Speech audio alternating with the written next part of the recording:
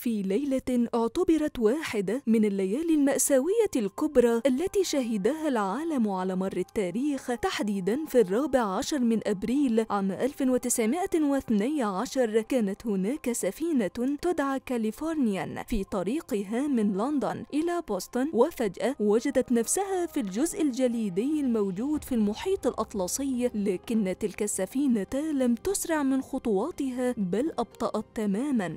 أرسلت باللاسلكي إشارة إلى سفينة تايتانيك الشهيرة التي كانت تعلم أنها قريبة من نفس المنطقة لكن عامل اللاسلكي في سفينة تايتانيك لم يهتم بتلك الرسالة والتي كان فحواها أن سفينة كاليفورنيان محاطة بمنطقة جليدية. لقد كان عامل اللاسلكي مشغولا للغاية فقد كانت سفينة الأثرياء تضج بالاحتفالات وكل ثري كان يطلب إرسال بعض الرسائل إلى أقاربه أو أهله. قامت سفينة كاليفورنيان بحركة ذكية توقفت عن السير في الجليد خوفا على السفينة. لكن قبطان سفينة تايتانيك الشهيرة إدوارد سميث ارتطم بجبال الجليد ولم يهتم وكان مسرعا للغاية. ولو كان أبطأ فقط لمدة 30 ثانية ما كانت حدثت تلك المأساة. وهذا يعتبر واحدا من العوامل الرئيسية التي تسببت في مأساة سفينة تايتانيك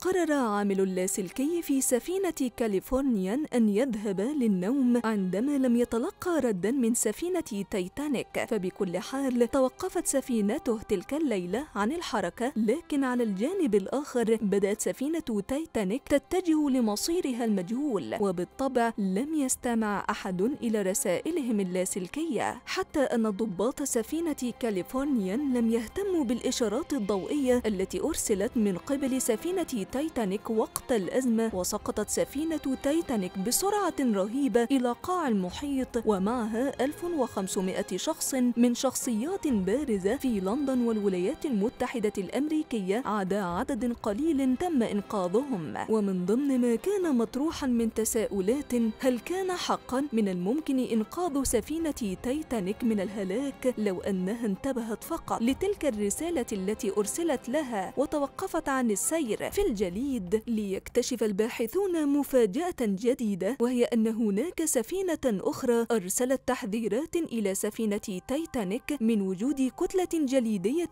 كبيرة في الجزء الشمالي للمحيط الأطلسي وخطورة الإبحار ليلا وضعف الكتلة البصرية. فهل كان من الممكن أن تنجو سفينة تايتانيك؟ لو كانت قد انتبهت لتلك التحذيرات. واحد من الأسباب أيضا التي كان من الممكن أن تنقذ سفينة تايتانيك أنه لم يستطع أي ضابط من الضباط رؤية الكتلة الجليدية التي كانت أمامهم وذلك بسبب عدم وجود منظار. فكيف لسفينة كبرى مثل تايتانيك أن لا يوجد بها منظار ليلي يستطيع المراقبون من خلاله مراقبة كل ما يحدث ليلا حولهم؟ وكان السبب وراء ذلك في تغيير ضابط المناوبة الليلية قبل إقلاع السفينة بسبب خلاف مع الإدارة ونسى أن يسلم مفتاح الخزنة والتي بها المناظير الليلية للضابط الجديد. ولم ينتبه الضابط لذلك ولم تنتبه الإدارة أيضا. لتنطلق تايتانيك في طريقها إلى نيويورك بكل هذه الفخامة بدون أهم شيء كان من الممكن أن يساعد المراقبين الليليين. وبالطبع فوجئت السفينة بظهور الجبل الجليدي أمامها فجأة في منتصف الليل لتحدث المأساة الكبرى التي لم ينسها العالم.